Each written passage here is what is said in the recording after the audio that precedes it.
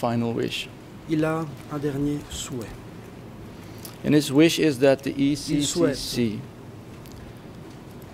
will que les CETC translate our closing brief as soon as, as is reasonably possible into Khmer, dès que ce and that copies of it will be distributed in the same manner souhaite que des as the ECCC has distributed its own judgments. les différents jugements rendus par les In his opinion, and also my opinion, c'est un avis que je that would be the real le véritable héritage que laisserait ce tribunal à la postérité. Merci.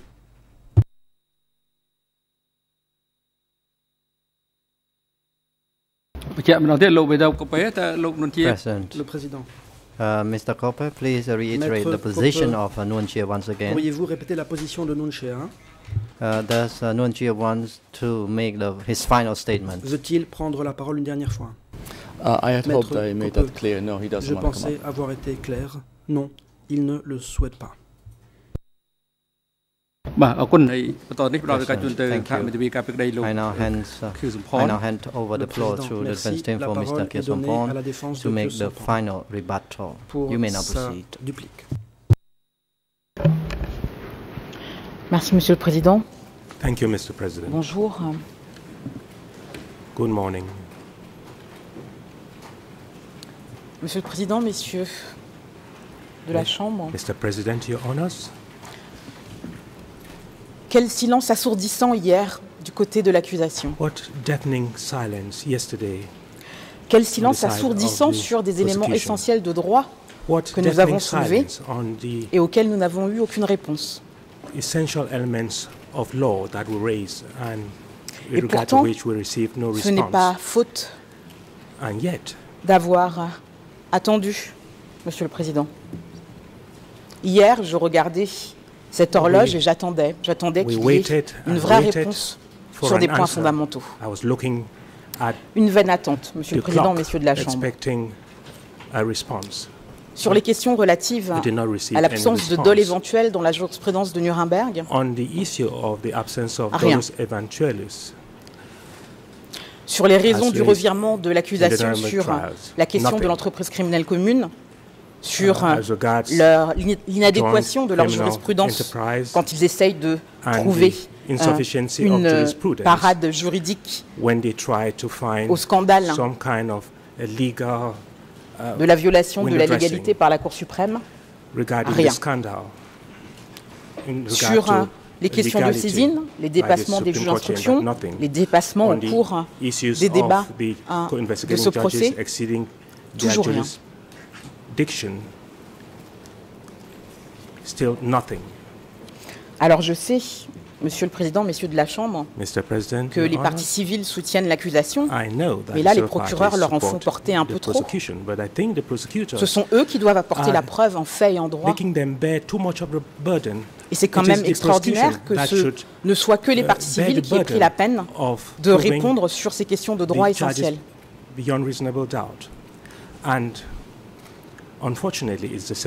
C'est quand même extraordinaire que lorsqu'on a parlé d'autres actes inhumains, ce soit les parties civiles qui aient évoqué une feuille de route et que du côté de l'accusation, on ait a entendu euh, the Koumian, prosecution procureur international, avoir un raisonnement binaire en nous expliquant que oui, euh, le- les mariages forcés, c'est quelque chose de grave.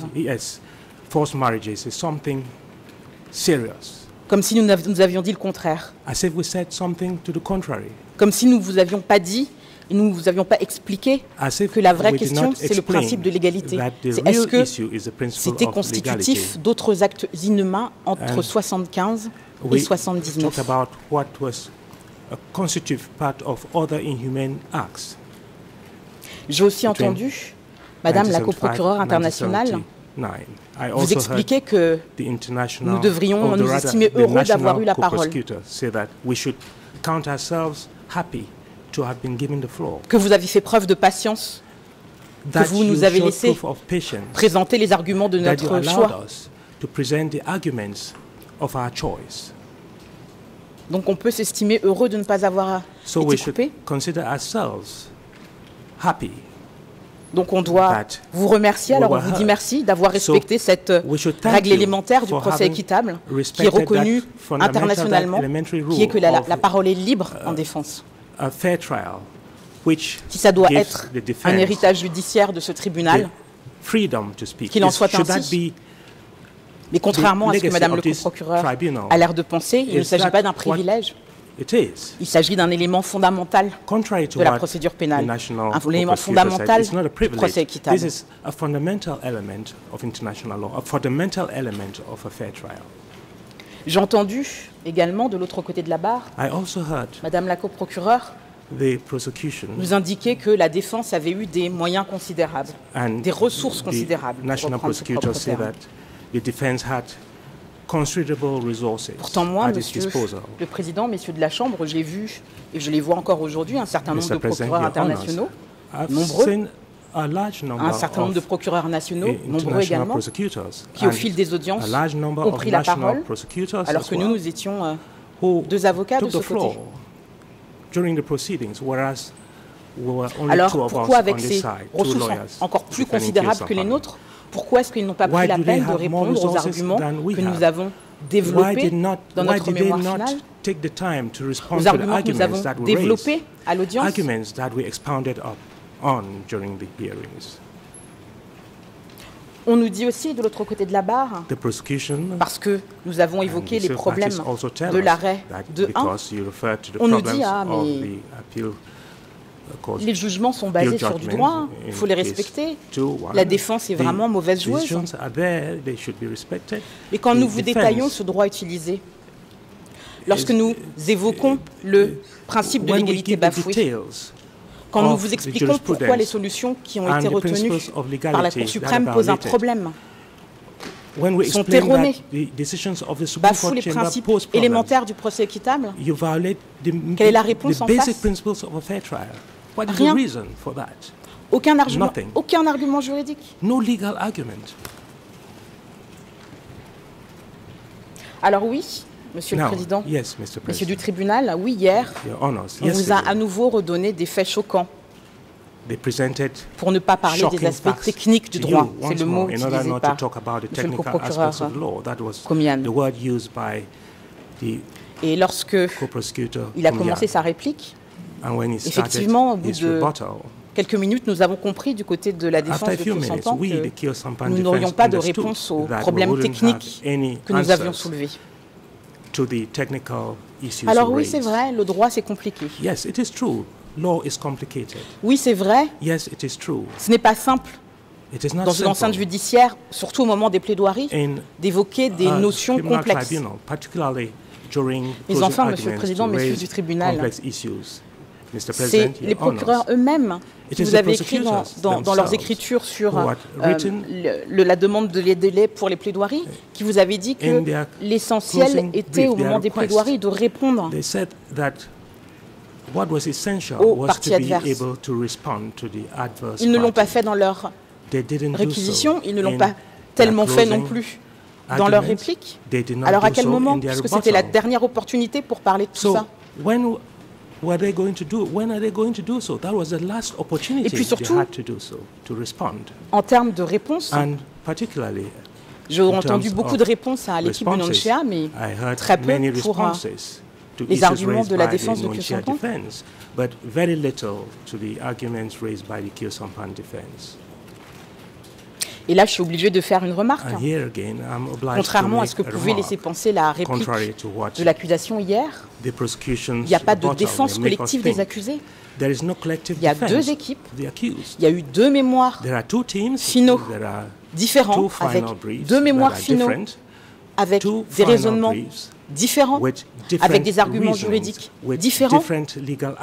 Alors j'aurais apprécié que euh, l'on daigne répondre aux arguments de l'équipe hein, de Kyosampan arguments, et non the pas nous Kyosampan comme ça dans un pluriel artificiel ou de parler de la défense. en nous attribuant d'ailleurs parfois des moyens et des arguments que nous n'avons pas avancés, ni à l'écrit ni à l'oral. arguments or grounds for our arguments that we did not advance. Alors je donne ces précisions euh, au début de mon intervention, Monsieur le Président, Messieurs du tribunal, pour que vous compreniez quelle est notre frustration de ce, côté-ci de la barre?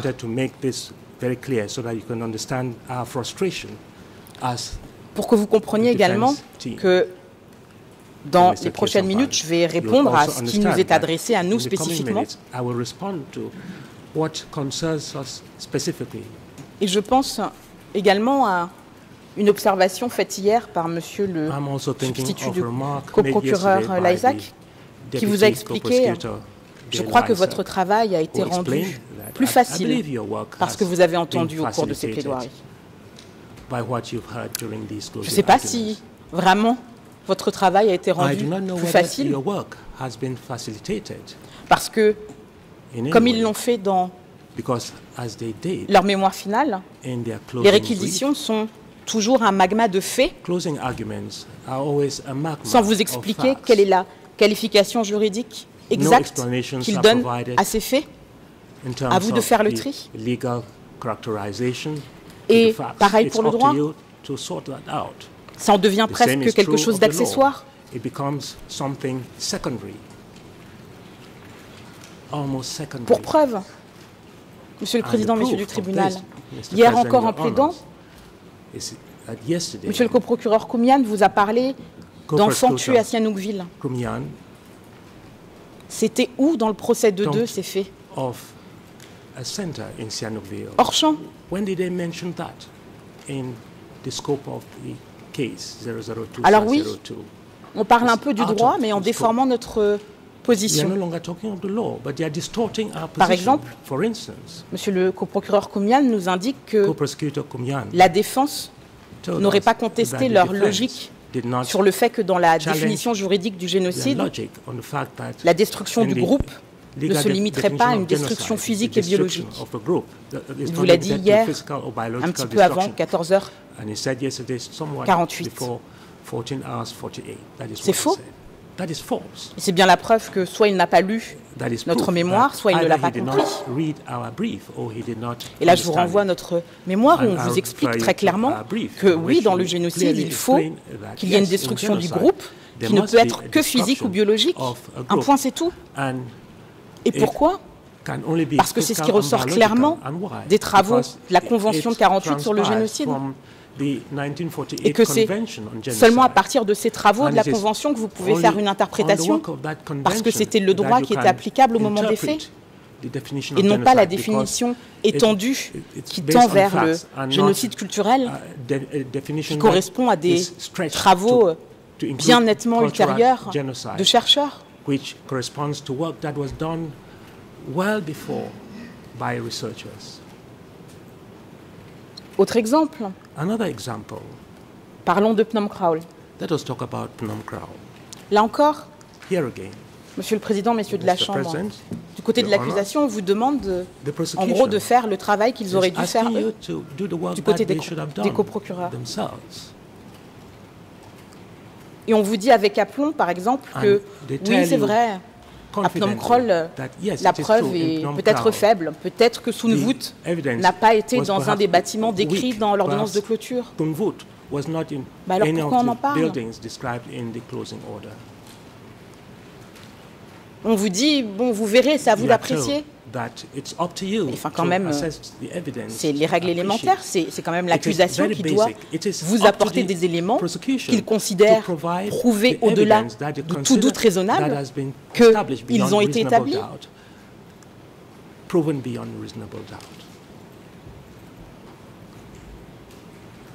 Et là, c'est quand même un moment, moment extraordinaire qu'on a vécu hier. On a what we experienced yesterday was tellement un flou dans la quali- qualification juridique que The les procureurs retiennent sur certains faits, que nous, on a appris hier, comme vous, je suppose, que finalement, sur Phnom Kraul, We learned yesterday Il that ne ultimately, peut-être pas, euh, le crime d'extermination. Et pourtant, il y a un développement au paragraphe 884 in à paragraph 888 de leur 8, mémoire finale.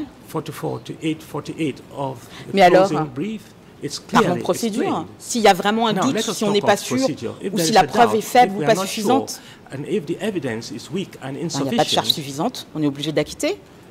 C'est ça la règle de droit. if it is not sufficient, you are, the charges are not sufficient, your duty is to acquit Alors hier, j'ai entendu the accused. Monsieur le substitut Laisac expliquer prosecutor que Laisac il nous répondait entre parenthèses, explain that they were responding to us une parenthèse de 8 minutes. as an aside, in parentheses, Monsieur le Président, messieurs de la Chambre, eight minutes.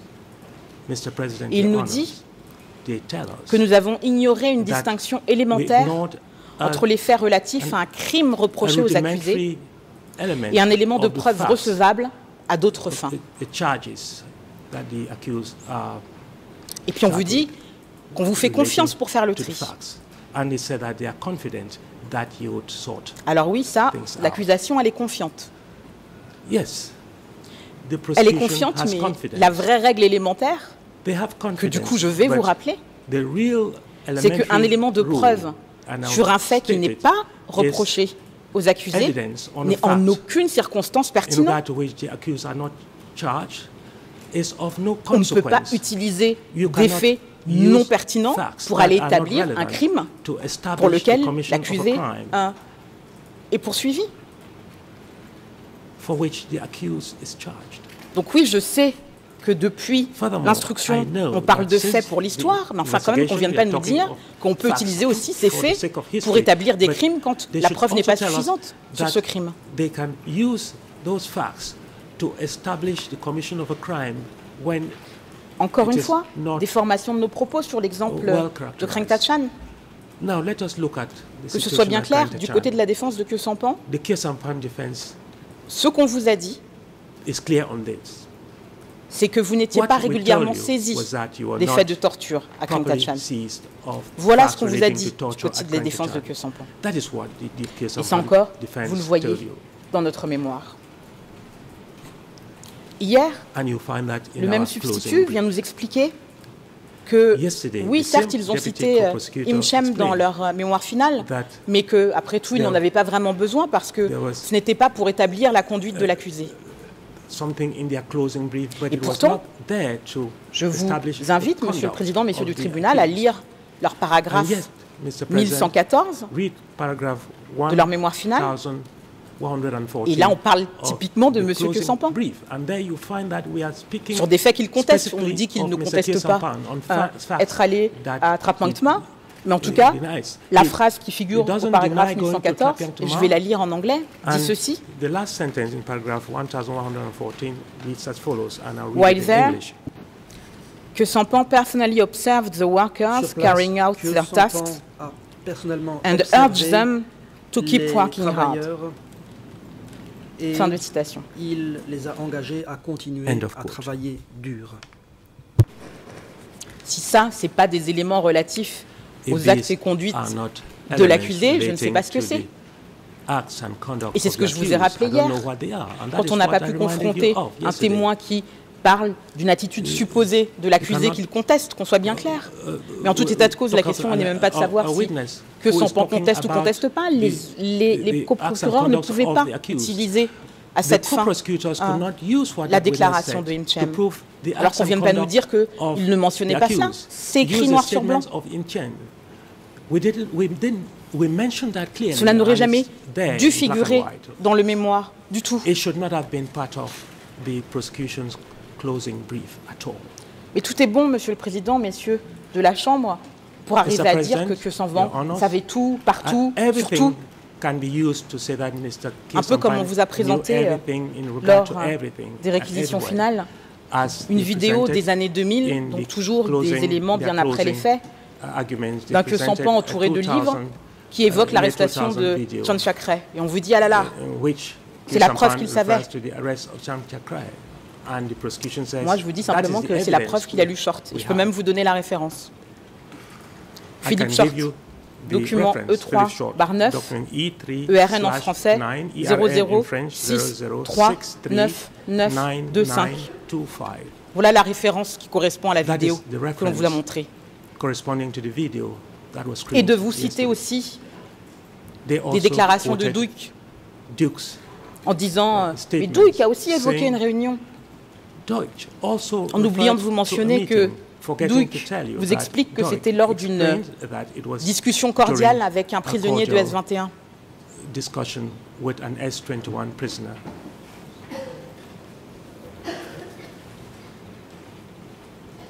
Les coprocureurs ne se sentent pas concernés par le droit ou si peu. Ils n'ont quasiment pas répondu à nos arguments. Est-ce que c'est c'est une posture, Was that se dire que c'est le mépris de- des arguments de la défense. Ça pourrait être ça, mais je n'en suis même pas sûr, Monsieur le Président, Messieurs du tribunal. That could be the case, but I am not sure. Je pense surtout que Mr. President, il y a une... Oui, il y a un mépris, oui, mais c'est un mépris yes, des, des règles élémentaires qu'on apprend euh, pourtant euh, dès le début de nos études de droit. On ne parle pas de faits, comme ça dans l'absolu en procès pénal. On parle de faits absolute sont poursuivis, on parle de faits auxquels on doit donner une qualification juridique. charge, And they should talk about facts that have been legally characterized. Alors, est-ce que les coprocureurs sont si peu concernés par le droit? Ou alors est-ce que leur silence par rapport à certains de nos arguments, c'est que finalement, So il n'y a pas de réponse. c'est un aveu que peut-être nous avons raison They don't have any answers. Alors hier, j'ai entendu l'accusation critiquer mes confrères de l'équipe de heard en parlant de hypocrisie plus que flagrante. On a dit qu'ils of, faisaient uh, l'autruche. Peut-être qu'il y a-t-il un parallélisme des formes, en tout cas sur la question parallel l'absence de réponse à nos points de droit soulevés.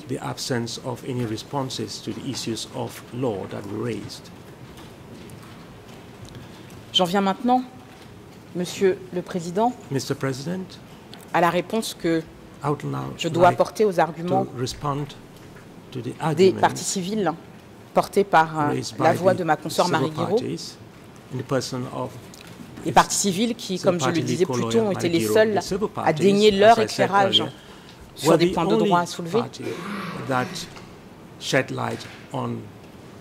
Parce que quand même, quel est l'intérêt d'un débat judiciaire si ce n'est pas avoir les positions de chacune des parties pour vous aider à trancher parties Une première remarque sur euh, help you make a ruling. la question de saisine first remark has to do with the et ce que j'ai entendu jurisdiction de la part des partis civils. and what I heard the civil parties say. Ma consoeur Marie Guiraud, hier, vers My 13h35, colleague Marie Guiraud a indiqué que vous êtes 13 saisi de faits, 37 said you de tous les faits, et rien que les faits qui sont contenus dans l'ordonnance de clôture. Oui et non. Pas de tous les faits qui figurent dans l'ordonnance de clôture. Et vous vous souviendrez. Monsieur le Président, messieurs de la. Chambre, que j'ai commencé mon propos mardi en vous rappelant la citation d'un ouvrage de Marcel Le Monde qui expliquait que dans l'ordonnance de clôture figuraient parfois des faits qui n'étaient pas absolument indispensables. Et d'ailleurs, j'y vois l'explication euh, de l'incompréhension de ma consoeur hier par rapport à la question des viols, puisque effectivement, les juges d'instruction ont parlé de faits que finalement ils n'ont pas. Ultimately. En toute cette cause, were not ce qui est clair, c'est que vous n'êtes saisi de tous les faits que dans la mesure où ceux-ci ont reçu une qualification criminelle. par les juges d'instruction. Il faut que cela figure dans l'ordonnance de clôture. Tous les faits qui sont mentionnés comme ça pour l'histoire, vous n'en êtes pas saisi s'il n'y a pas de qualification criminelle au terme de l'examen des co-juges d'instruction. characterization in light of the Et decision of the c'est cette différence d'analyse euh, And que nous avons avec euh, les parties civiles qui explique pourquoi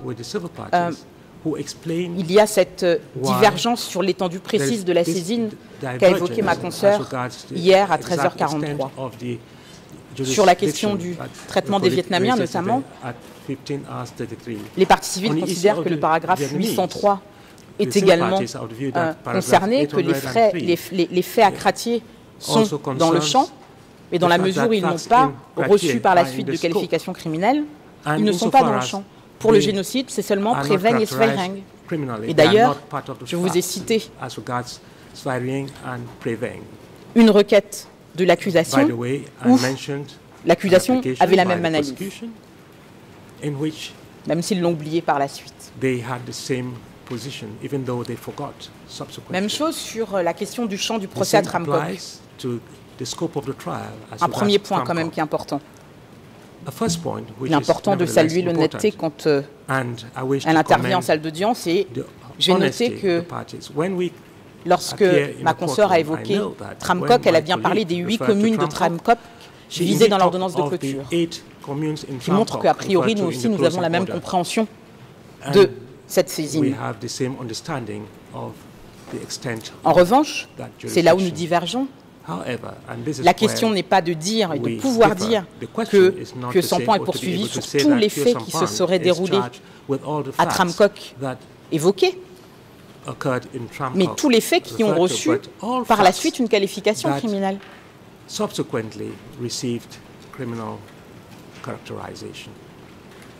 Or, et ça c'est important, rien dans les faits renvoyés sur Tramcock n'évoque Angroka.